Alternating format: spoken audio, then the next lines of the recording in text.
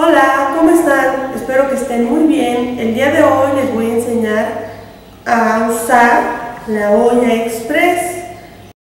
Pues les voy a explicar más o menos eh, pues lo que deben de tener en cuenta para usarla para que no vayan a tener algún accidente. Eh, la olla es eh, para mí fácil de usar, desde que tenía 13, 14 años la usaba y nunca me pasó nada y bueno, por eso les voy a explicar cómo la deben usar para que eh, la usen eficientemente ya que pueden ahorrar gas al usarla y además tiempo.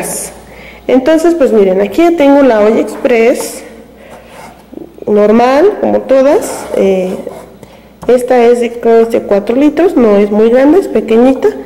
Eh, voy a cocinar una pechuga de pollo en ella. Entonces lo que voy a hacer es, lo normal que haría con cualquier olla, le voy a poner su cilantro, su cebolla, la voy a cubrir con agua. Ahorita le voy a poner un poquito más de agua, más o menos por aquí abajo porque quiero que me quede algo de caldo. Y le voy a poner también sal. Bueno, después lo que vamos a hacer es que vamos a revisar su empaque que es este debe de estar en buen estado si está roto o lo que sea mejor cámbienlo. Eh, los venden en los lugares a donde venden refacciones. Y este también este empaque también lo deben de revisar que esté en buen estado. Y bueno lo van a tapar. Bueno la mía yo siempre la tapo así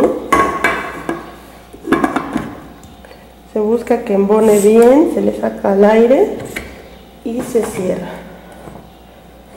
Voy a colocar en una posición donde no, nadie que vaya a pasar la vaya a mover. Al último le voy a poner la válvula, que cada olla tiene una válvula. Si, cambia de marca la válvula puede ser diferente, puede ser de otra medida, de otro color. Les sugiero que usen eh, la válvula respectiva de su olla para que no vayan a tener un accidente. Entonces ya después de esto, que ya la tenemos bien tapada y todo, le vamos a prender. Ahorita eh, lo vamos a dejar a fuego alto, pero en cuanto empiece a chillar la olla, inmediatamente, y se los digo, eh, inmediatamente le tienen que bajar, ¿ok? Así que voy a esperar a que empiece a chillar la olla.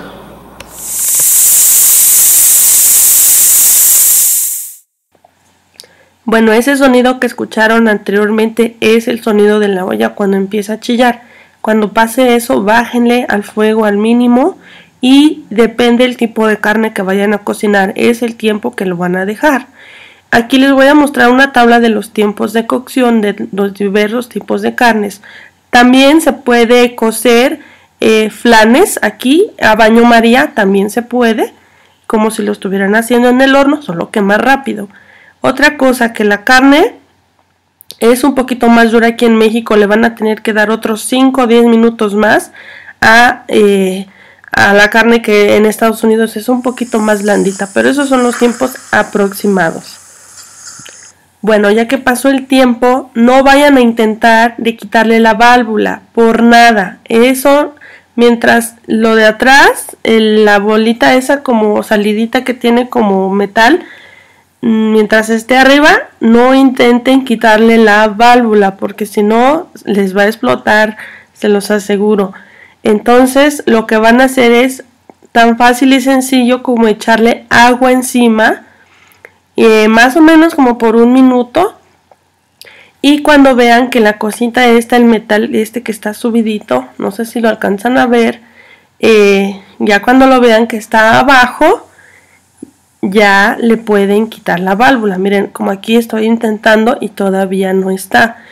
Entonces ya que vean que la partecita esa ya, ese, ese fierrito se bajó, como lo pueden ver aquí, entonces ya le pueden quitar la válvula, pero no se la quiten de un jalón, como que le hacen así de ladito para ver si todavía tiene presión y si ya no tiene se lo retiran y ya al quitarle la válvula ya están seguros y ya pueden destapar su olla.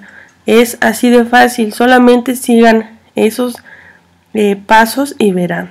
y bueno como pueden ver acá la carne se está deshaciendo en media hora ustedes pueden detener ya su, carne lista en lugar de estar gastando tanto gas pero bueno en fin hay personas que de plano les tienen miedo y nunca nunca usan una olla de presión hagan la prueba con estos sencillos tips y verán bueno muchas gracias por haber visto el video. Si les fue de utilidad les pido que me regalen un like. Y bueno nos vemos hasta la próxima. Adiós